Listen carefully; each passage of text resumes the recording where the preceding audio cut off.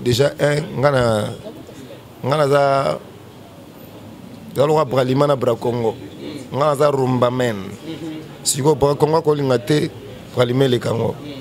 parla na ye naloba eza na jeune frère na biso maosa ape musique bien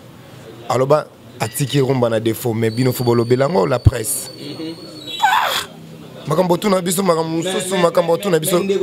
écoute ndeko no asala clip na ye bazosolola boye ocomprendre mpena ke un rumbamen andimi atya sirvete kaka mpo amoni kaka ke afro afro ngo makambo nini afro na rumba eza afro c'est quoi l'afro bino bosala chronique fo bo je sais pas ntango nazonga na media tosolola mpo boyeba mpe boza sense oyeba miziki na bastyle ya miziki ntango moto akoloba no afro tout ce qui est eza na lien na afrique c'est ça afro rumba eza mpe afro bien keke na balatine banini mais eza afro afro eza nini biso tobeta album lelo boye bato babeta suba album te lelo ekoma basingle me nga mpo na se positionne na miziki ya congo jamais nakobanda na single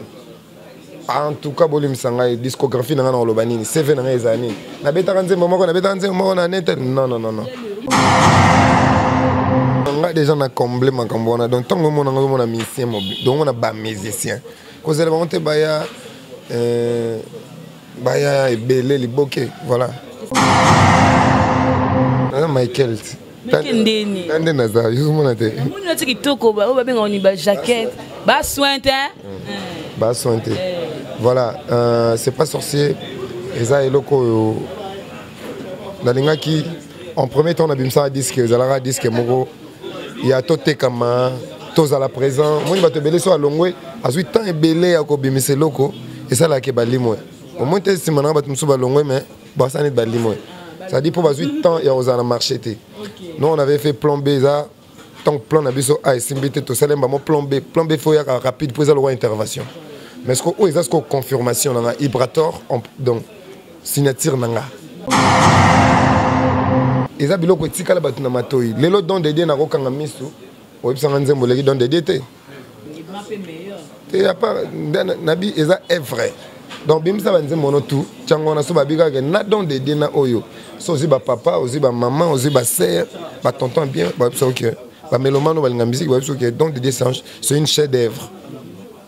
eza eza chef d'œuvre vraiment donc sikoyo nga ntango nalingi nasala disque naloba yango c'est pas sorcier cestadire eza disque oyo ekamwisa bato baloba jo asimbi loin jo akomi na bakar oyo jo akomi na mapango oyo eh, basir toi simbi we baloba na simbi na ide opesi nga tosala yango ouais ouais merci eza ida bien toconcevoir yango na baingénieur na biso peut-être tokosala yango torealise yango ma ezala te mpo otindi nga fo euta esone na motema na nga nga naleli mare na biso aza koko meme c'est une meme pour moi euh, kofi olomide ba condoléance encore une fois mpo mare wana okende ma otikela biso na motu mpo akota trop donc atikeli biso baoba monene oyo eza kofi olomide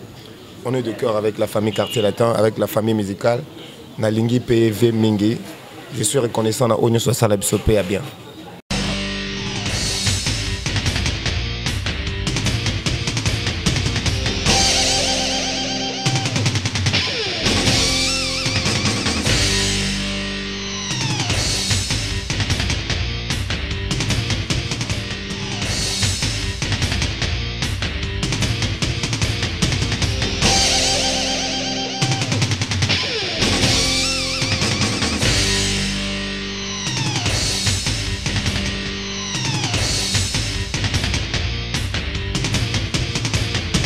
balobi gauche te droite te zalawa abonnez-vous tous massivement na congo victoria chaîne moko ya bien okolanda bapolitike ya bien okolanda bamiziki ya bien parole de rwanda kaparakumando amela grenade oyo eza bakinam oyo eza bachaliser abonnez-vous abonnez-vous massivement oyo alie bazoka te apusana pembe na victoria te ça se passe à machan attention mauvaise haleine check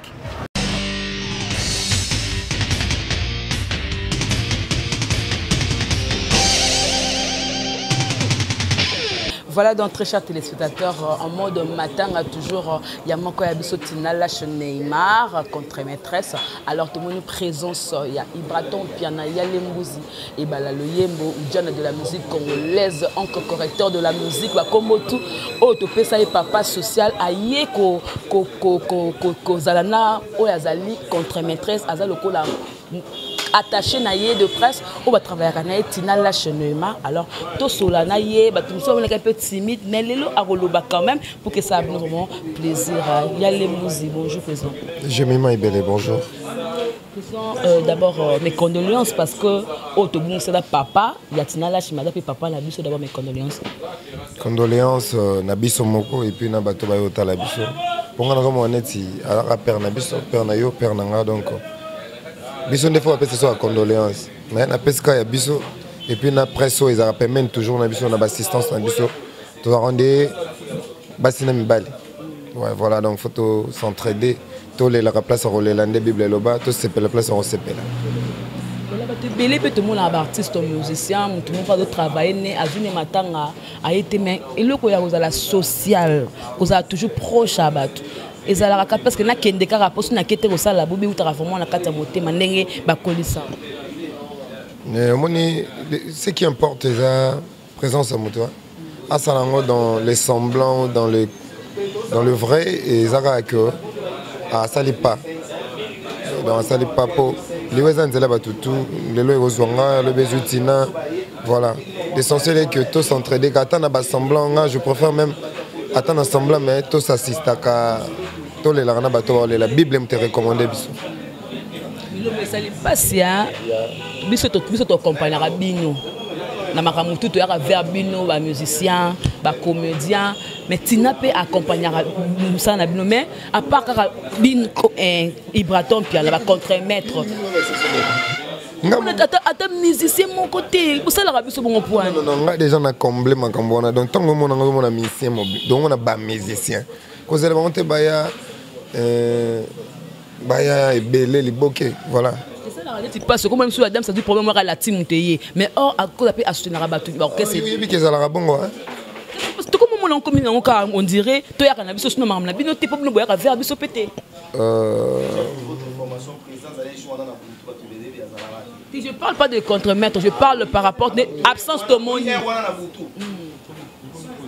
moni aire wana na butu président ya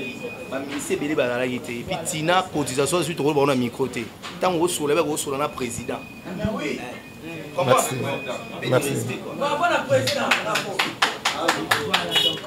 un mot par rapport à ça parce que namoni zini kumba bandi akokumisa yo déjà euh, zini aza motu nanga déjà ya kala akumisa kumisa kaka boye akumisa kumisa kaka bongo oh. c'est-à-dire euh, na kombo ya mission nyonso soki de fois biso toyaka koassiste bino vraiment te comme il se doit na, na presse na kombo ya mission nyonso obolimisa biso toyaka bato na bino bino so botiki biso mabe biso totiki bino mabe donc voilà ngai nazo, nazo illustre déjà ensemble ya bamesien so bomoni ngai bocomprendre bo kaka ke bamesien bayaki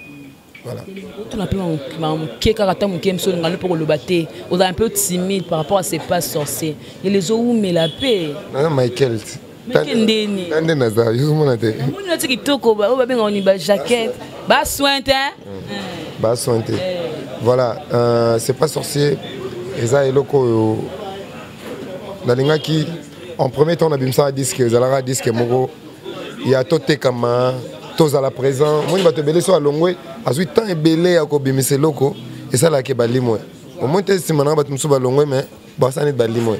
cetadi mpo bazwi temps ya kozala na marché te non on avait fait plan b eza ntango plan na biso a esimbi te tosali mbamo plan b plan b fo yaka rapide mpo eza lokwa intervention mais siko oyo eza sikoyo confirmation nanga ibrator donc signature na nga biso tobeta album lelo boye bato babeta suba album te lelo ekoma basingle me nga mpona se positionne na musique ya congo jamais nakobanda na single en tout cas bolimisa ngai discographie na ngai na koloba nini cv na ngai ezala nini nabetaka nzembo moko nabetaka nzembo moko na nete non non non non se positionner donc ba don de Dieu wana to beta au se positionner te don de Dieu eza ba préambule au moins temps ba pesa biso dictionnaire eh, quoi ça discernement euh, dissertation esanga introduction développement conclusion cestadi nga eza lokola fin ya duplicateur na bandai na préambule nazokota siko na développement donc eza siko développement bato bayebi déjà ke non alongwaki ayembaka bien approuvé de quoi il est capable oyebi nabeta batube ti omona nga boye 3 ans après nabimisa eloko te mais nabeta baconcert ebele eh, donc biso toa bongo donc œuvre nde bamosusu baosala aosala mpo azala me bato mosusu baosala mpo atikala oui dans des années moi nde tovandaka boye toka parapapapara baokamina bongisa mwasi na yo cestadire eza biloko etikala bato na matoi lelo don dedie nakokanga misu oyebisanga nzembo oleki don dedie te te ya part nabi eza evre donc bimisa banzembo ono tu ntango wana so babikaka ke na don dedie na oyo so ozwi bapapa ozwi bamama ozwi basere batonton bien bayebi soki ke bamelomano balinga miziki bayebi soki ke don dedie sange c'est une chef d'œuvre eza eza chef d'œuvre vraiment donc sikoyo nga ntango nalingi nasala diske naolo bango c'est pas sorcier cestadire eza diske oyo ekamwisa bato baloba jo asimbi loin jo akomi na bakar oyo jo akomi na mapango oyo eh, basir toi simbi we baloba na simbi mpo naza mwa mystique te eh. na prophétise na bida c'est pas sorcier eza kindoki te eza ba bafruit bazini basala na kala batindikatindika carmo boke mono na victoire totindikaka eza bondoki te eza encheminement ya baide encheminement ya ba ya ba courage détermination toyaka nango na kala yango te efuta biso lelo donc c'est pas sorti eza eloko ntango ebima baloba mna omoni bato bazo ignore bamadilu baya susu te babalani nyonso ya miziki bakufi sikoyo biso tobimaka na ba na basingle moko ya basuccès à la va vite comprendre mais lobi mpena nani totika neti baéléphant nani totika mpona badéfendre musique ya congo ezala na babiloko na biso kobinisa binisa kaka te bamasta baobeta bien mais faut totikisa baplan bacheux de vrai kelo biso baye mpena babi bon a ah, tokobimisa chanteur nani lelo boye babengi masa na biso bekam babengi masa na biso buchu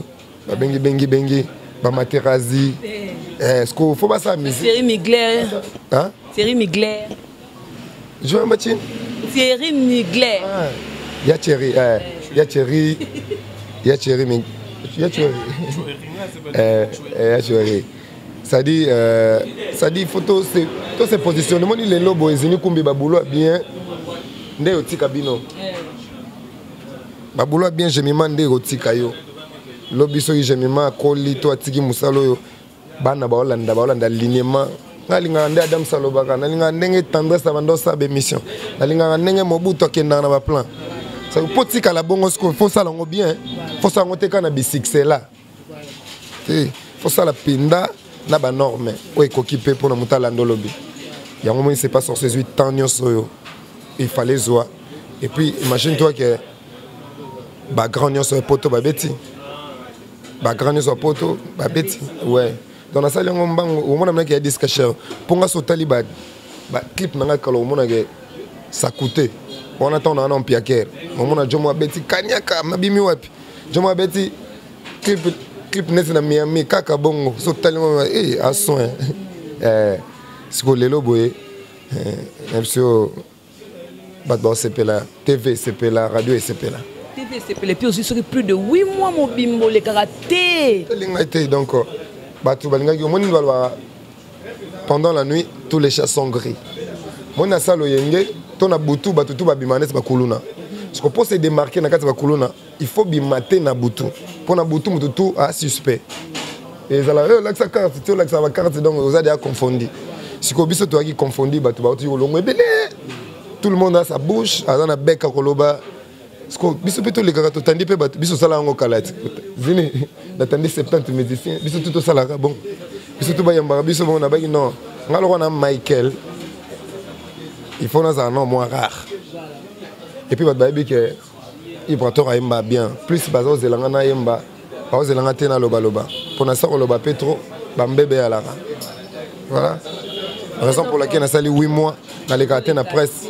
eh, meme yo so otyenga mikro na bino lelo olindimi ka parce que oza matanga ya tinalage contremeozongisa epa na micro na yo naozongela sikoyo média mpo na lancement sikoyo ya annonce ya disque le 25 je serai na temps de leader avec mami ilela bomona sikoyo ibraton azongi na média place bino botyaka nga poa place botindika album na bino mpo bamusicien oyo ya solo boza nango lobi eza baoyo bavie oyo tande vie aza basoin basoin te eh. olekani ezala mpe okasion moko orépondre répondre bamakambo to elekani ya ba 12 ba 24 makambo to en ah, maître 12 napesi ye mbote place ali bana ya cape town bana durban maître 12 bosekota motuno ye yo donc nakorépondre na maquestion tout ba 12 baozala nango mpo na ngai par rapport oyo makambo elekani na concert ya roga roga ah bon donc voilà napesi bango bambote trop nalingi bango trop bapays ya libanda parce que lelo tomoni baoriso efongwami la plupart bamusicien ebele okaka o oh, lwanda kutu deja okanga tozela mpe mwa baturquie tozela mpe mwa babelgique bafrance bablo mwa te bato bakobeta baconcert ozo mwa moto abeti misiki na turquie osi omona mesi abeti turquie osangisi bato bazini boye tie mikro olobi nauti doti na beti na territoire soki tokenda kosomba babilamba nde tendance na boti badior boye eza nde communauté na biso ekosangana etie biso mwa nde matika songa osala mwa barbeki boye tozobatie lomema na bar moko boye ah, concert fo ngai nakende na turquie fo pena affiche ebimi contrat producteur ayebani voilà c'est ça ngai na banda kovoyage liboso toyebi te ngai nakenda bachine badubai se mwana sikoyo na dubai moto biso kabeti na somona moto abeti na dubai apart vena biso nsoni akendaki na compte ya baroi voilà kobetama baarabe balinga makambo wana te wana mpe eza poyaka biki eza makambo fo to moni bamasa biso bauti ya ngola baza ebele communauté na biso ekosala ke miziki ebanda obeta mais comme eza bamiziki nano ya quartier quartier nano ezwi mpena sens te nati oke kende osombi t-shirt noa bien neti ve boye ocomprendre eh, osombi t-shirt noa bien osombi mwa basket ozongi bon so mpoza na besoin osala neti obetaki sala mpe neti obetaki Pepetre esalo pepetre esalo bien. Pepetre. Pe pepetre. Peut-être. Peut-être. Eh, donc c'est la star donc euh, près César wa. Euh, euh, motuna na ngai ezaka ya boye nazaka ya deux questions na opose na star na nga oza problème na nga eh, président moke nalingako mingi oa star na biso osalaka fierté ya mboka na biso nazalaka na baquestion mibale na opose oyo relation nini ozalaka nango na bacollègue no bamusicien tout ya liboso tunaka nyonso mbala moko mbala moko ya mibale eh, ya mibale eza boye toza na besoin neti nga dibinga obeta nga mpe tour na turquie wana wana kosenga tendresse oyebi ke ngai naza millionnaire Eh? Mon millionnaire yango emonanaka boye te eh, naza millionnaire en esprit esprit na ngai eza na bamillion ya baqualité ya bien eh, voilà cestadire elingi oloba boye turquie tokokende yango tokokende belarussie ngai azalaka da na batoshe mvumbi le boursier moto apesa bourse donc euh, nde osengi yango officiellement boye zini asenga ne te mais vie abonga oyebi vie abonga kanga eloko na biso tokosala yango nde olobi wana tosala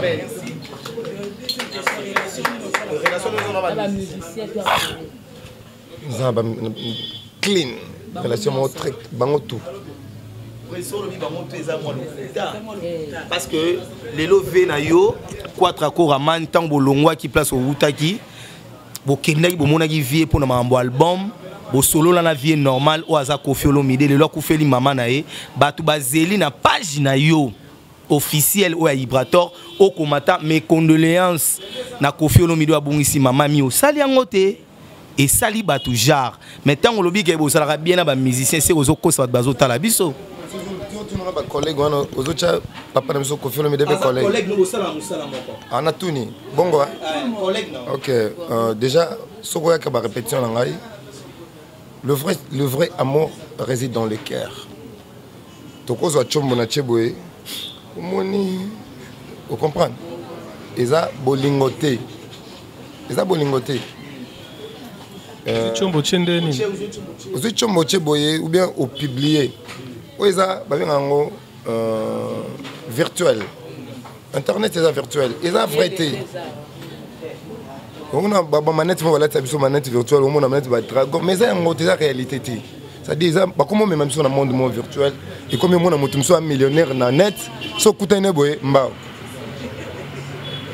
neti ngai nayebi kaka tendresse abangisa nga fort mais so okutani ne boye elle est gentille cestadire eza virtuel oyo alakisaka biso par là nani naloba euh, aza papa na ngai c'est son parmi ba grand oyo batya biso coup de pouce nakolongwana te mais na continuité ngai abenga continuité eh, mpo omoni ata mbinzo eh, mbinzo eh, autaka nano mbinzo akomi papillon batango tozalaki na bambinzo bavieux baza parmi bato batyaka biso coup de pouce vraiment naza nango na motema na ngai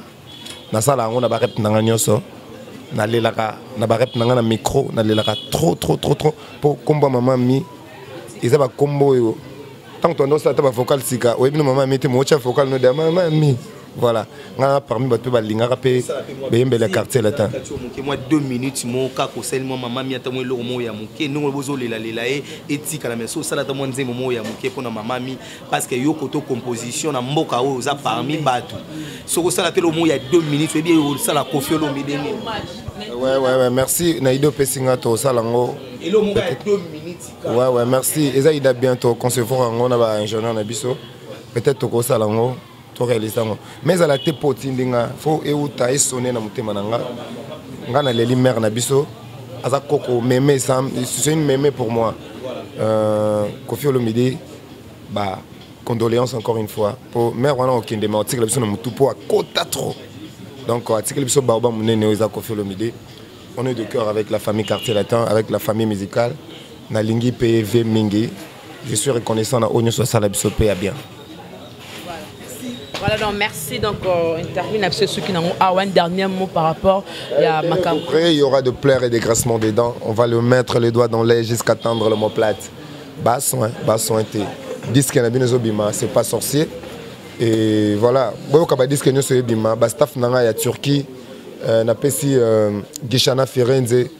Maître Yuko na Brésil et puis bana Luanda les 11 11 baza na barbecue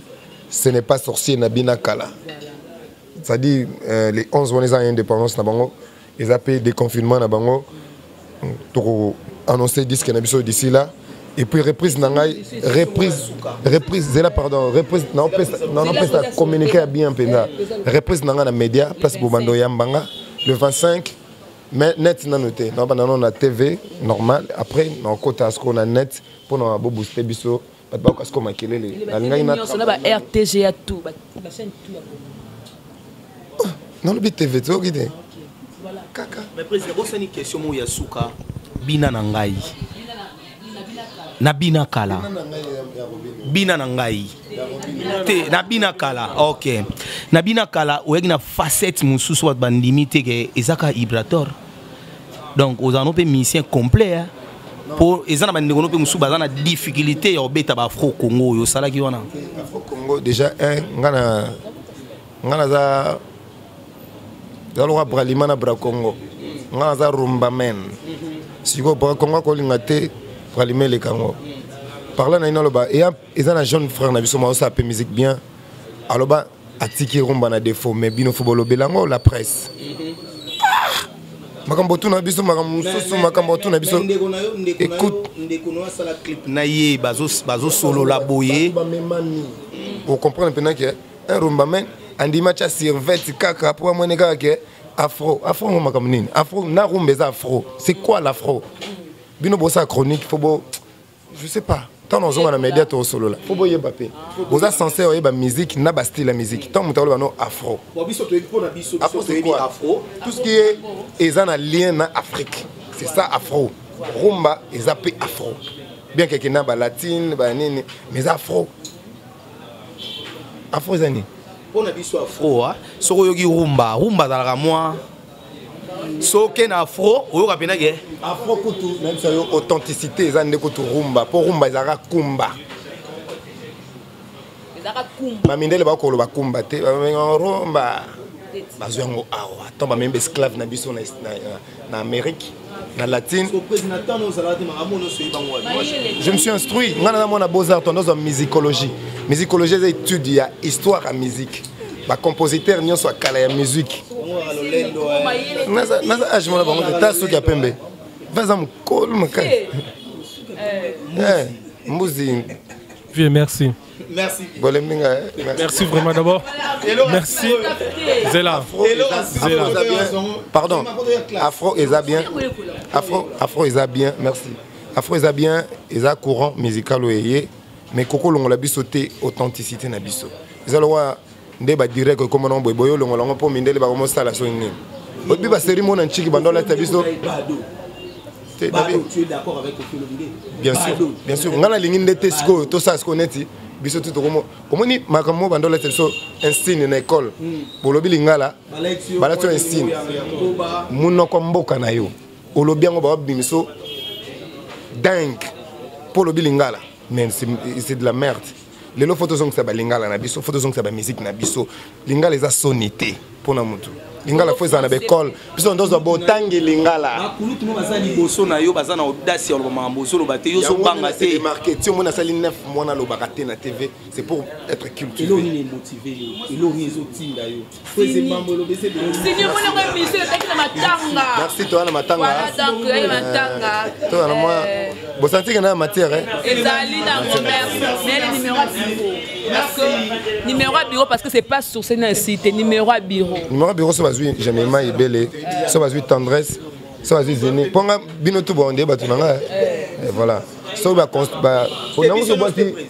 teofile mulumba nalela nzembo ne fort teofile nalelango mabe biso nyonso te keba bafo baali te na bafo ngai na bapoche nanga mpe badollar mosusu ebima ya faux Euh, mais ezaka dollar ya poche na voilà donc euh, là c'était ibator euh, mpiana ya lembuza ebala loyembo donc ayaki ye moko te ayaki na bacontremaître mobimba motakanga lwanda eh. famille présidentielle direct eh, claude nangala donc directeur privé ya ye moko euh, président yele mbuzi namoni euh, jack tumanda hein, donc euh, jack tumanda le petit frère ya, ya, ya le mbuzi baton mpiana ye alati linete jack tumanda ye wana donc euh, credo molema wana lisu ya mokonzi kwa baye mpe na adams adams na comprenake te aza na la team to azala pa ibra na comprena mamatoza ebele junior mobutu merci mpo na assistance euh, namoni tendresse dibinga namoni euh, euh, artiste artiste ne fala artiste noir de bato tout baza wa donc bogard de la presse donc euh, bamosusu bozwi ka mwa 12 voilà je dis merci moto oso bolingaka gemma ibele donc euh,